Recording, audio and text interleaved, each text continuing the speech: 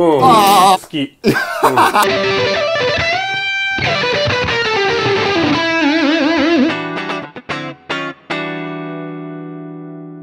はい、どうも始まりました。本日スペシャルゲスト、ギタリスト、大渡亮さん。イエーイまでやってまいりましたよろしくお願いします。今日ね、亮さん、こちら、出たよマーシャル系だそうですよ。おいおいおい最初から出しとけよ こちらですね、ユニバーサルオーディオからもう最近いろんなペダル出てますけれども、出てるね最近で言うとドリームとかね、うんすごく皆さん人気でね、あのフェンダー系のやつ、ね。ドリームはね僕も持ってるんですあれ最高あ、本当ですか？むちゃくちゃいいあれも早速じゃあ開けてきますよ、これ。はい。おーおおと、じゃーん、こちらです。おー超高級感ある感じじゃなライオン。いライオこの上にボリューム1、2があるということは、JCM800 とか900よりももっと前の、ン、うん、JMP 回路のね、はい。通称プレキシパネル機と言われてるね、678 7は JTM になっちゃうから、はい。68からのやつだあね。もう、りょうさんも今日ぴったり、もうだからこれの名前だから68スーパーリードアンプ出た。マジか。じゃあ、繋いでみます。はい、繋がりました。接続はですね、あの、LINE で、あオーディオインターフェースにそのまま入れております。一旦このプリセット的なやついってみますね行。ってみましょうなんか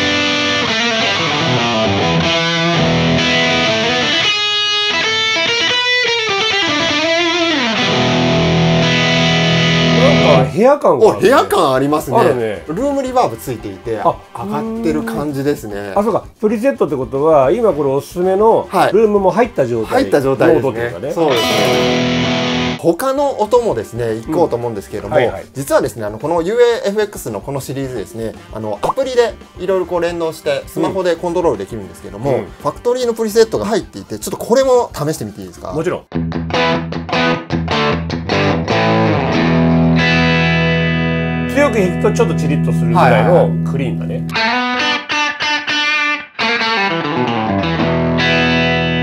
これシングルだとどうです？SSH なんで、はい。じゃあセンターにしてみましょうか、はい。あ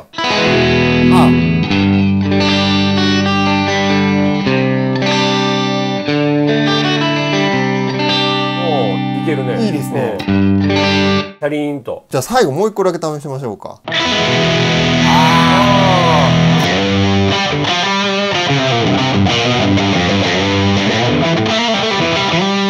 個人的にはこれが一番今のところ好きだね。本当ですか、うん。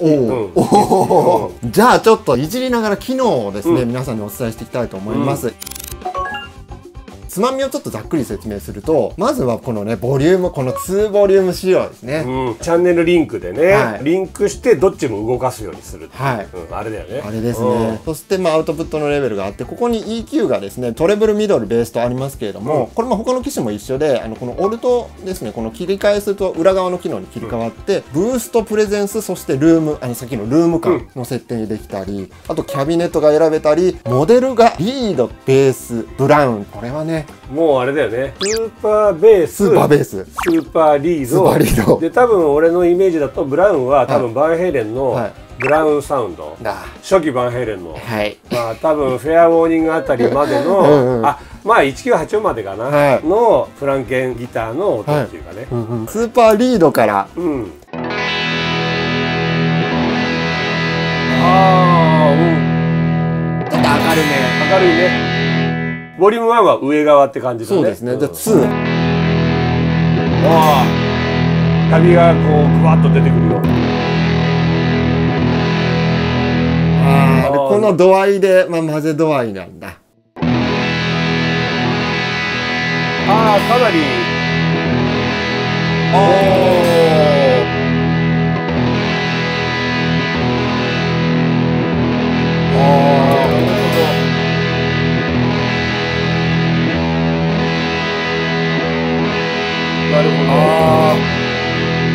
構このベースの効きはい。が安定したサウンドを得る肝かもしれないね、でさらにちょっとプレゼンスいじってみたくなったのでね。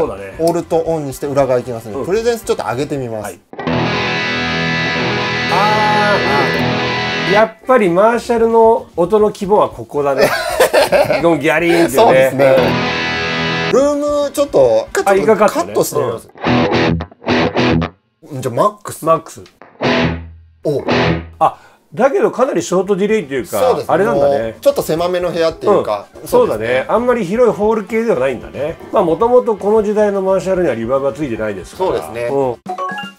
じゃあ続いてはですね、うん。こちらのキャビ選ぶやつこれもやっていきたいなと。ね。今選択されているのが、うん、GB25 で60年代後期のマーシャルのグリーンバックと。あヴィンテージマーシャルとしてはスタンダードそうですね。部類だね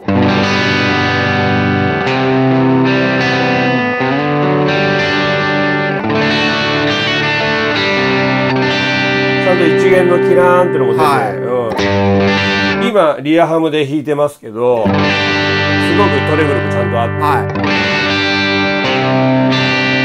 まあなんか手前からエフェクター突っ込んでも余白があるような状態かな。続いて GB30 随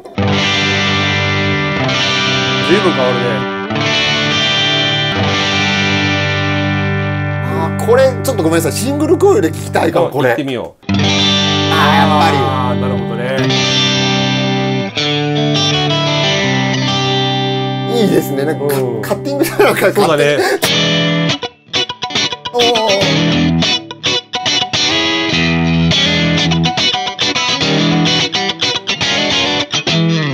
あーもうこういうのやりたくなっちゃうね感じがしましたね。次えー JBGB 2つのセレッション 25W のグリーンバックと JBL のスピーカーがニコニコ入ってる。あーなるほど。はい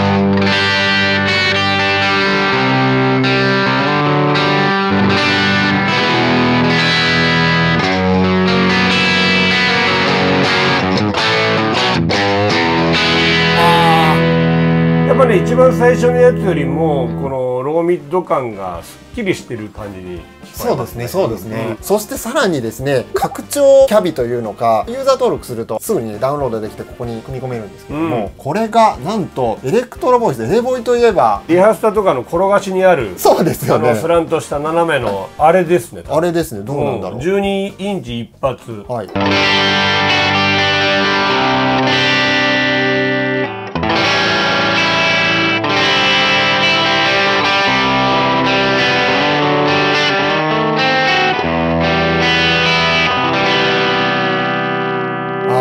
全然変わりましたねキャラクターが。変わる。うん。へー。雰囲気変わるね。どんどんいっちゃおう。続いては、 Two-Rock。まさかの。 Two-Rock のキャビはい。ウィ Celestion はいち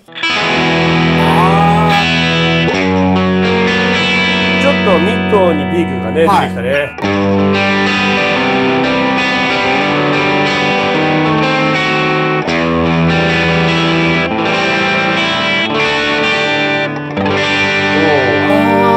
か馴染みやすいなんかちょっと現代のテイストも少し増えたような、ねやっぱコワッとしたのがやっぱ出るのがやっぱトゥーロックの特徴なんだね。そうです。ん。これもシングル聞きたいな。あそうだね。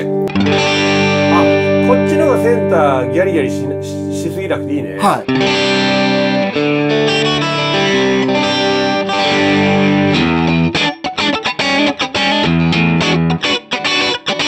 うん、あー。うん好き、い いですね。じゃあ最後いきますね。はい。4×12 の 1960TV キャビってことは最近も流通してるうん。ヴィンテージ30がはい。入ってるタイプだと思います、はいはいはいはい。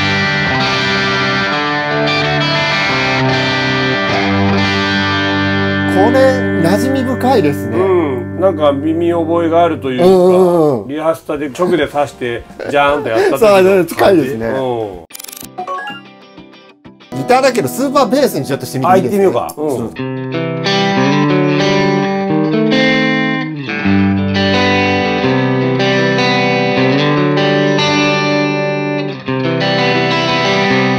あ僕こういうの好きなんですいいね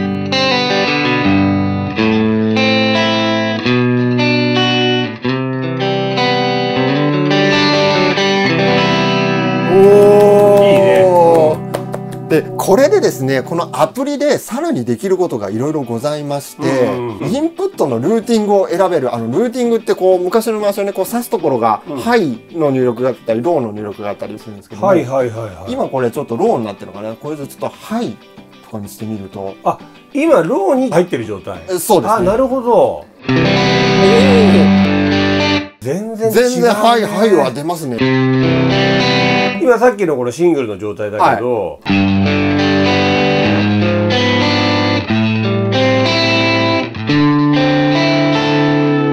ちょもう一回ローにしていいですか？そうだね。はいロー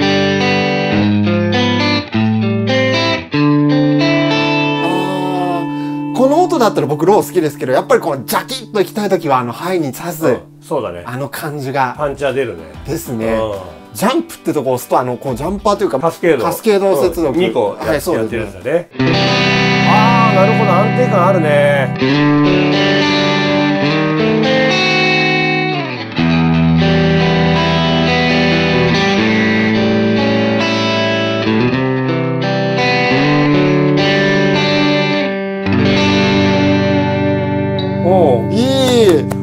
これは意味ある。これいいですいいねね。あとはですねノイズゲートついてるんですよえー、すごい。じゃあせっかくなんでブラウンで作りましょうかあ、いいかもしれない。じゃあハムですかねやっぱりそうだねブラウンはね、うん。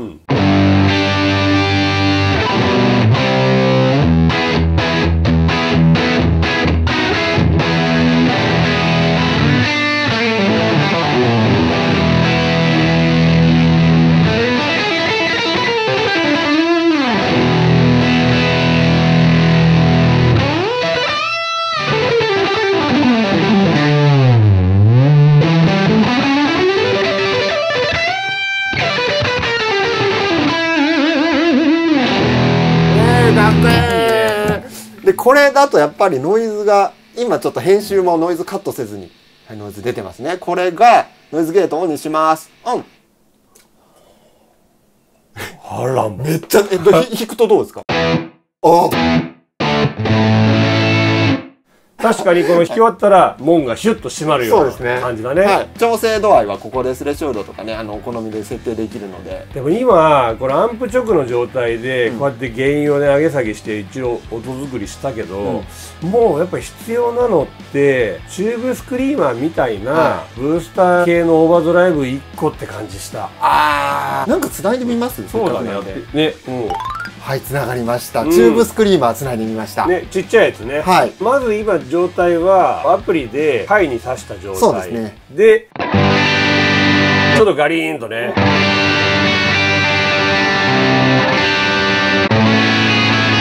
うん。一弦のそのキャリーンっていうのが出る感じ。でそれをまあ手前からこのエフェクターをこのねラインでぶち込んでみるい。っちゃってください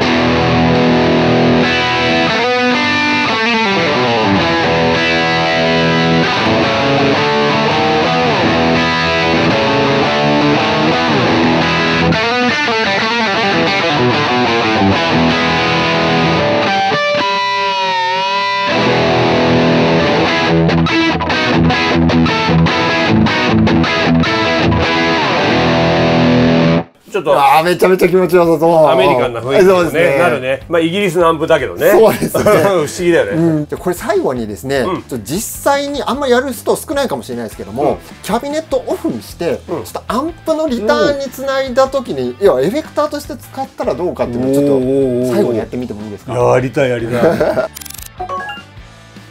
はいつながりました。マーシャルのリターンに今つないでみました、はいはいはいでつなぐ場合はここのキャビネットシミュレーターをオフにしたいのでここですねカチカチやると最後にですねこう消えるところがあるんですね、うん。これでオフでございます。ねこれでスピーカーがつながってない状態ってことですね。そうですね。さっきのプリセットが結構良かったんでこのプリセットでキャビをオフってうん。これどうだろう？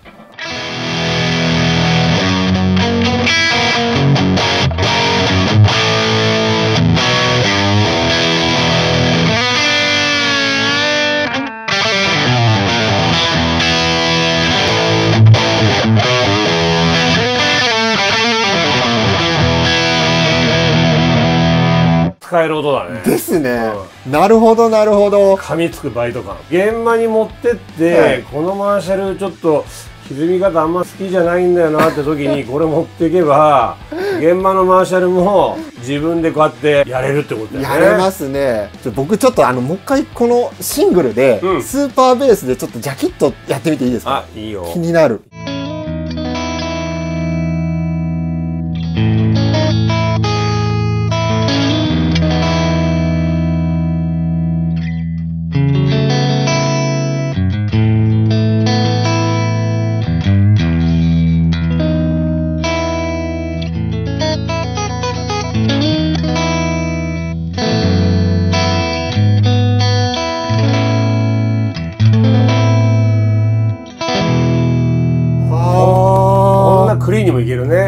これちょっとあのアプリで今「ハイ」から入力してたのローにしたらもうローにね。いいんじゃないかな、なるほどね。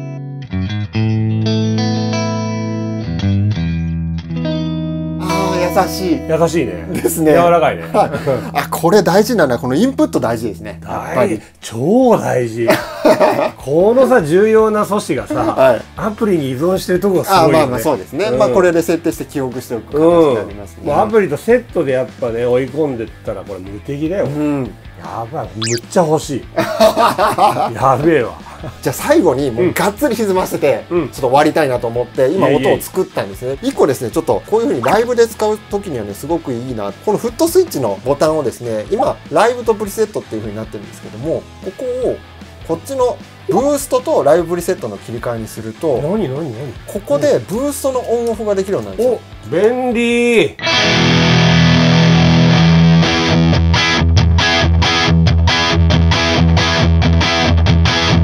ああこれは頼りになるね。はい。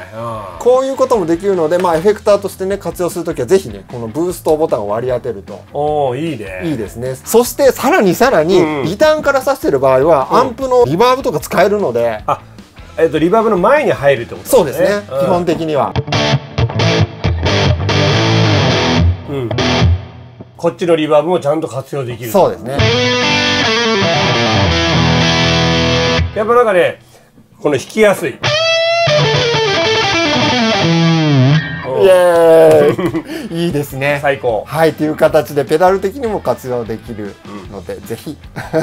はいというわけで今回紹介したライオンあの気になる方はぜひ概要欄からチェックしていただければと思います。よかったですね。欲しいとのことですので皆さんもぜひチェックしてみてください。本日スペシャルゲスト大渡亮さんでした。どうもありがとうございました。チャンネル登録とかもお待ちしてます。それではまたの動画で